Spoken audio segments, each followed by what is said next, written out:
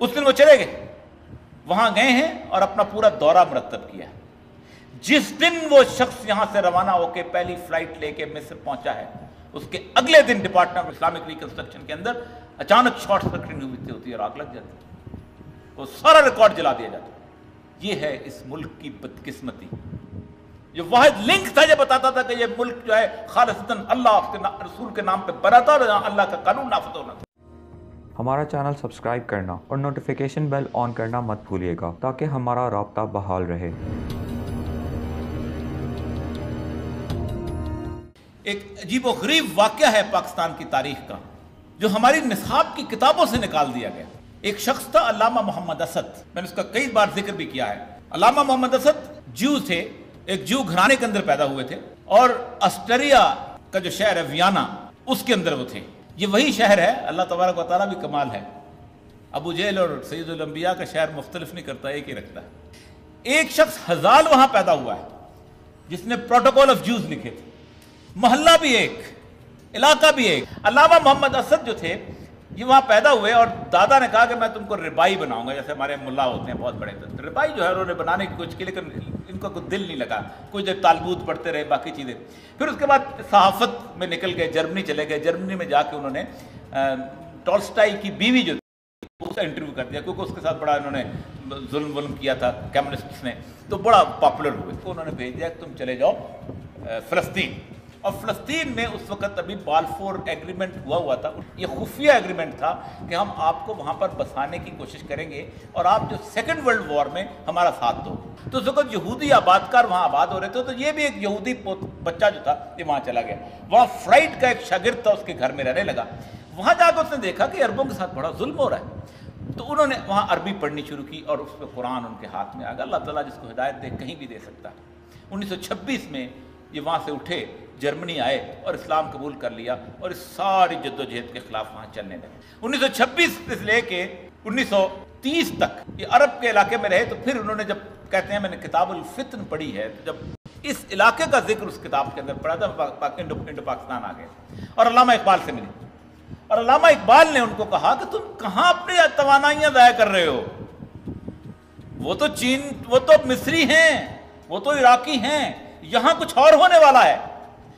تو علامہ اسد جہاں رہ گئے، جب یہاں رہے ہیں وہاں پر، تو اس دوران first world war second world war شروع ہو گئی۔ سیکنڈ ورلڈ وار کے دوران انگریزوں نے ان کو جرمن جاسوس سمجھ کے گرفتار کر لیا اس میں کمال واقعہ آپ سب لوگوں کے لیے کہ کتنے خوش قسمت ہیں آپ لوگ کہ باہر کا آیا وہ آدمی اس دھرتی کو کتنا مقدس اور محترم سمجھتا ہے۔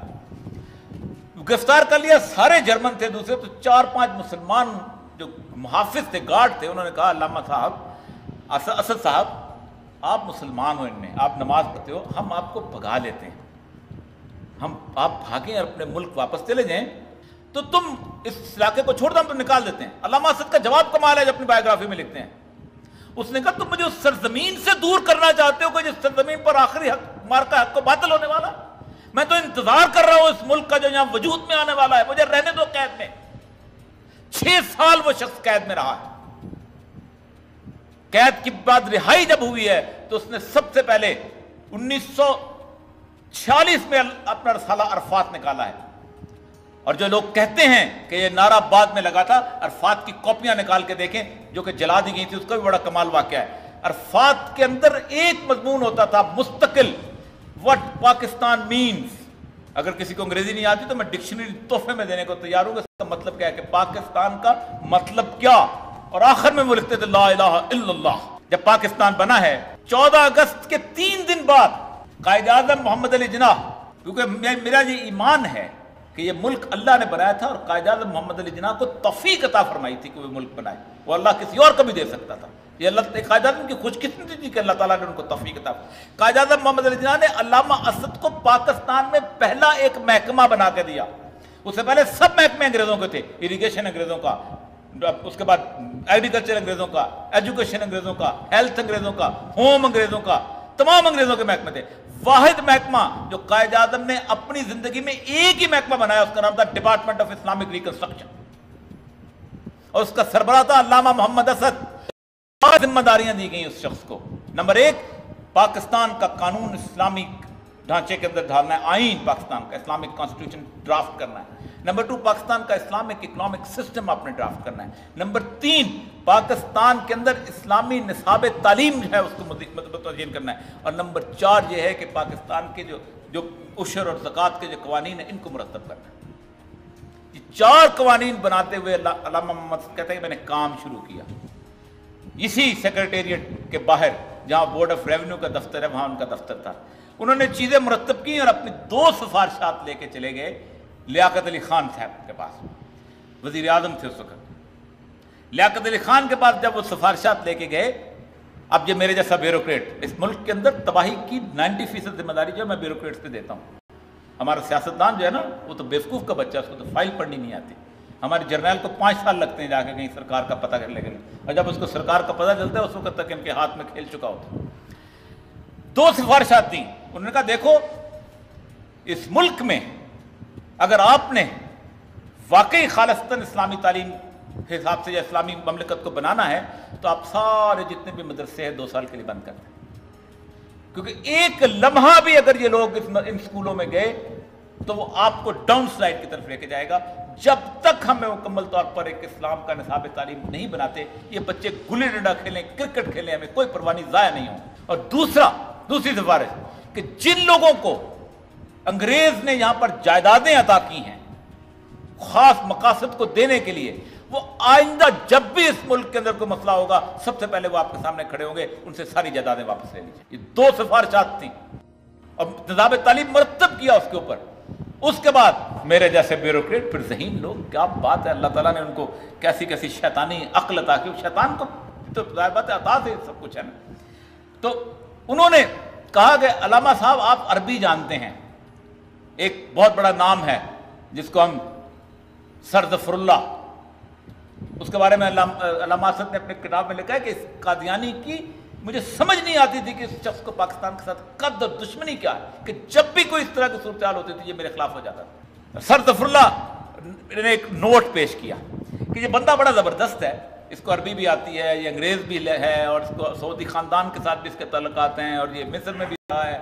تو اس کو ہم اتحاد بین المسلمین کا دائی بنا کر ہم فورن آفس میں رکھ لیں and Allama Asad was appointed as director general middle east affair in foreign service Allama کہتے ہیں میں نے رات روتے ہوئے گزاری ہے اس دن کہ میں ساتھ ہو کیا کہا ہے. اس نے وہ ایمز اینڈ آبجیکٹیوز وہ جو لکھے تھے کمال کی بات ہے۔ اس دن وہ چلے گئے۔ وہاں گئے ہیں اور اپنا پورا دورہ مرتب کیا ہے۔ جس دن وہ شخص یہاں سے روانہ ہو کے پہلی فلائٹ لے کے مصر پہنچا ہے، اس کے اگلے دن ڈپارٹمنٹ ریکنسٹرکشن کے اندر اچانک شارٹ سرکٹنگ ہوتی ہے، اور آگ لگ جاتی وہ سارا ریکارڈ جلا دیا جاتا یہ ہے اس ملک کی بدقسمتی۔ ایک جگہ بھی اس کا، اس لیے کہ وہ لنک تھا جو بتاتا تھا کہ قائد اعظم سیکولر نہیں تھا۔ جو واحد لنک تھا جو بتاتا تھا کہ یہ ملک جو ہے خالص اللہ کے رسول کے نام پہ پڑا تھا اور اللہ کا قانون نافذ ہونا تھا۔ جس شخص نے بری ترین حالت میں اٹھارہ یکم جولائی انیس سو اٹھتالیس کو تھرڈ ڈگری ٹی وی تھی اسٹیٹ بینک کے اندر کھڑے ہو کے چار فگریں پڑھ لیجیے گا۔ آپ حیران ہوں گے کہ ہمارے کسی مولوی میں آج تک ضرورت نہیں ہوئی جو اس بندے نے اس وقت کہی۔ اس نے کہا، آج personally vouch I personally vouch میں ذاتی طور پر نگرانی of the state bank that they will develop a comprehensive interest free Islamic economic system یکم جولائی کو اس کی تقریر اس کے اگلے فکرے سنیے The Western economic system has created such a mess that only a miracle can save the Western society. اتنا گند پھیلا دیا ہے مغرب کے معاشی نظام نے کہ صرف مرکل ہی اس کو بچا سکتا ہے مجزہ اس کو بچا سکتا ہے۔ It has resulted into two major wars یہ وہ شخص کہہ رہا ہے جس کے بارے میں کہا جاتا ہے کہ وہ شخص سیکولر تھا۔ مجھے ایک جگہ ایک ٹی وی پروگرام میں کسی نے کہا کہ اس کی لباس دیکھو، میں نے کہا ٹائی پہن تو میں نہیں میں بھی پہنتا ہوں۔ اگر لباس پہننے سے میں سیکلر ہو جاتا ہوں تو میں سمجھوں گا تو مجھے گالی دے رہے وہ دن اور آج کا دن، اس مملکت خدا داد کے ساتھ ہم نے کھیل کھیلا ہے۔ بہت بڑا کھیل کھیلا ہے۔